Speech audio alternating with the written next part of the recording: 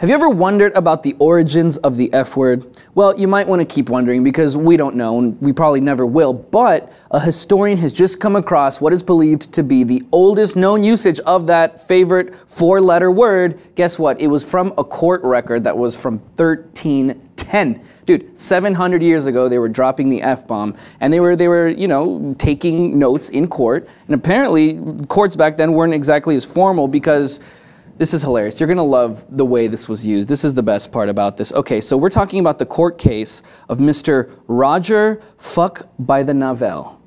That's his name. What the fuck? And no, that is not his last name. That was a moniker given to him by the court. They obviously didn't like this guy a lot, and they were implying that he's an idiot. And let me explain why. Now, Dr. Paul Booth, who is a former lecturer in medieval history, this is, this is what he had to say on the discovery. He's the one who found this.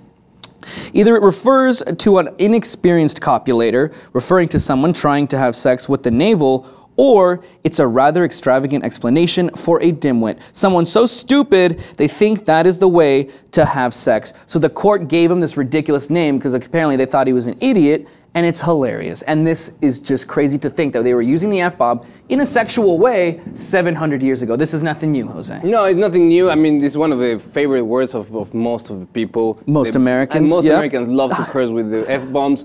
Uh, but, you know, uh, to this point, one of the most accepted connotations or, or definitions of the fuck is the history of fornication under consent of the king, where the king Right. had to have dibs on the, all the women of the, of the land for them to then have permission to fornicate with their husbands. So they had a sign out of the world of, of their houses that said F U C K, fornication, the consent of the king. Now, many historians have, you know, put that history on doubt, but I love the fact that we are now actually finding historical documents that have the use of the word fuck as we use it. Yeah. Dude, Dr. Paul Booth sitting there, he's researching King Edward, he's looking through these old manuscripts, and he comes across this, and he was probably just like, fuck, this is crazy, because it's like really nicely written, handwritten, you know, and then you have this ridiculous moniker given to this guy with the ri- most ridiculous meaning, and they were very, I gotta give it to these medieval people, because they're really good at dissing. Yeah. Because that, that was a really good way of, of screwing Is this that guy the over. only reference that the historical documents that we know of? No, it's not. Actually, before this,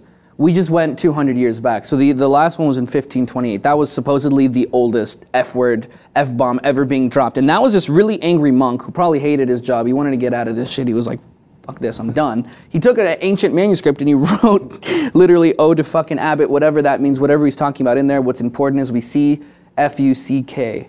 I N. He couldn't even put the G. He's like fucking. He's, he's like it's- he's like slang. Yeah, he was, he was a cool monk, um, an angry monk, obviously. But I think this is cool because I actually, I'm not even kidding. I have really thought about where the hell does this word come from before. I was like, what, what does this even mean?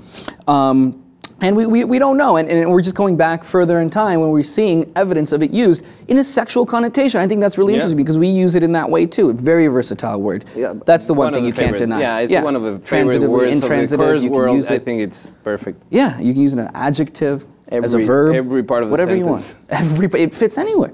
Try it. Literally put it in any part of the sentence. It will work. Let us know what you guys have to say about the F word being found 700 years back in 1310 in that really hilarious court case. Let us know in the comments below, and if you haven't already, subscribe to the Lip TV for more.